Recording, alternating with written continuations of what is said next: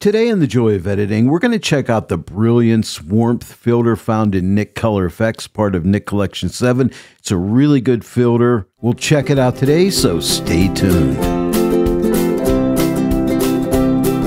Hello, everyone, and welcome to the Joy of Editing with Dave Kelly. Today, I want to show you a really excellent filter found in Nik Color Efex, and that is the Brilliance Warmth filter. And it has a really cool trick up its sleeve, and that is called perceptual saturation, which we'll check out here shortly. By the way, if you don't yet own the Nik Collection 7 and you'd like to pick it up or purchase any DxO software, I'll have affiliate links in the description below this video. You can use my promo code Dave Kelly at checkout, and you'll save 15% off any DxO software you purchase. And when you do that, I make a small commission, and this helps to support the Joy of Editing with Dave Kelly. So thank you for using my affiliate links. Well, let's go ahead and dive right in. As you can see, I have my Nik Collection 7 pellet opened up here. If yours isn't open, come up to File in the Photoshop menu and look for Automate, and then just click on Nik Collection 7 pellet, and that'll open up your pellet. And then all we need to do is click on Nik 7 Color Efex,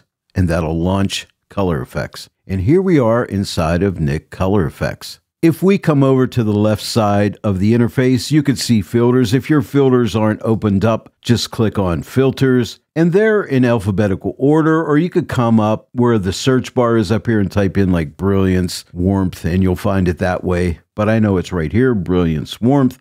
I'll click on the plus and we'll add the brilliance, warmth filter. Now, this is a very easy filter to use. There's not much to it, but it's really powerful, especially for a landscape image like this. And we just have three adjustments. We have saturation, which is a regular old saturation adjustment. We can increase or decrease saturation. If you double click on the slider handle, you can reset it. We have the warmth slider, and this is really nice, especially in a landscape when you want to warm it up a little bit. So I could take the warm slider and drag it to the right, add some beautiful warmth to the image, and drag it to the left if you want to cool down the image. And again, double click the handle and we can reset it. But here is the really cool adjustment here perceptual saturation. And let's talk about that first. Perceptual saturation in the Brilliance Warm filter plays a key role in enhancing brilliance. This is the brilliance part of the filter. It enriches colors naturally, making them more vibrant and visually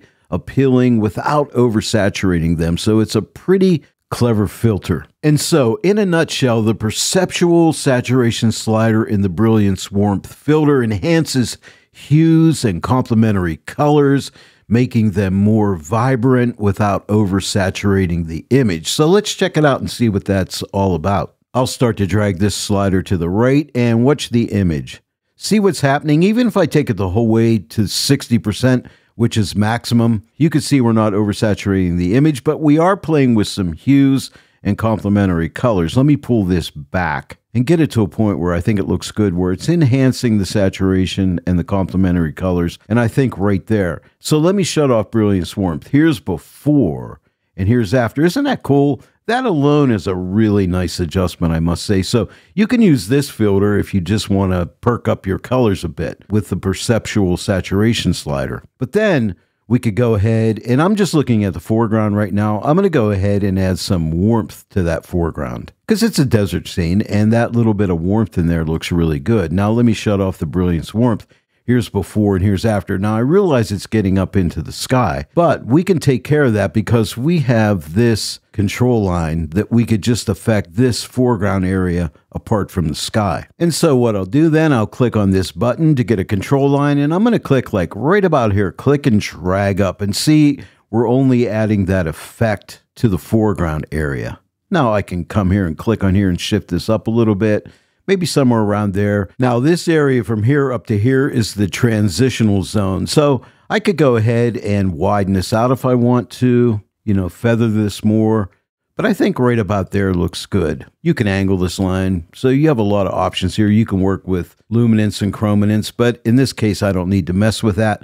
But let me shut off Brilliance Warmth. Here's before here's after. But that's a really nice adjustment. Now, I do want to work in the sky, but I want to work on it separately from the foreground. And I do want to use another brilliance warmth filter for that. So let's hop back over to the left side of the interface and we will come to Brilliance Warmth and click the plus and that adds another Brilliance Warmth filter. Isn't that cool? That we can have multiple instances of the same filter. For the sky, I'll add a control line first. So on this second Brilliance Warmth filter, click this button right here. This time I'm going to click right about here and drag down.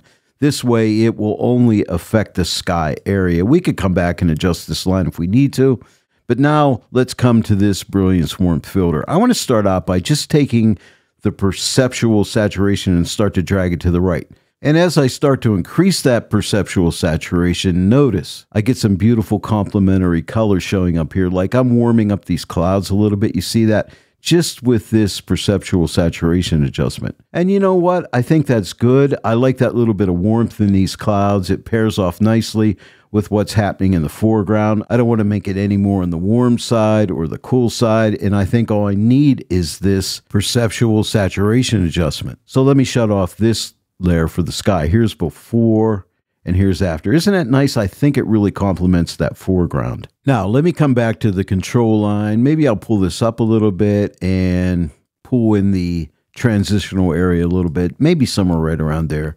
Let me adjust this up and down, and I think maybe right there looks good. Now let's see an overall before and after. Come up to compare, left click with your mouse and hold down. This is before, this is after. Or you could click right here and see a split screen. You know, you could drag this across.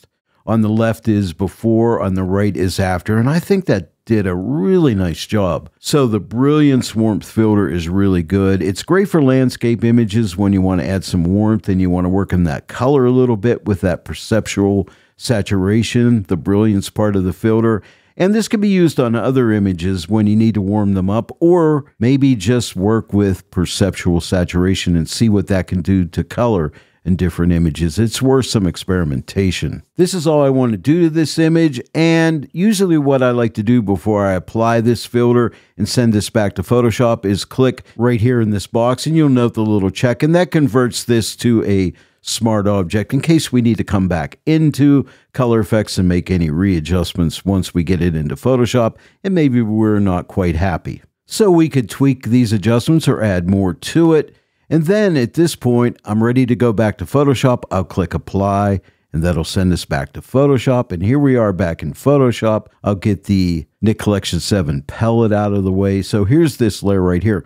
By the way, if you want to go back into Nik Color Efex and readjust this adjustment we made, just double click Nik 7 Color Efex and that'll take us back in and we can adjust our brilliance warmth filters. I'll go ahead and shut off this layer. Here's before. So we started out here and now we end up here. So that's a really nice adjustment on this desert scene. I really like the brilliance warmth filters. If you haven't used that brilliance warmth filter yet, please give it a try. And don't forget about that perceptual saturation. That's a really cool saturation adjustment. Hey, if you enjoyed today's tutorial, please give it a like and share it with your friends. And if you're not yet a subscriber to my channel, please subscribe. Click that bell notification icon. Click all so that you receive all notifications. And then every time I upload a new tutorial, you'll get notified about it. I want to thank each and every one of you for joining me today in the Joy of Editing with Dave Kelly. And I will see you all right here next time. But until then, happy editing.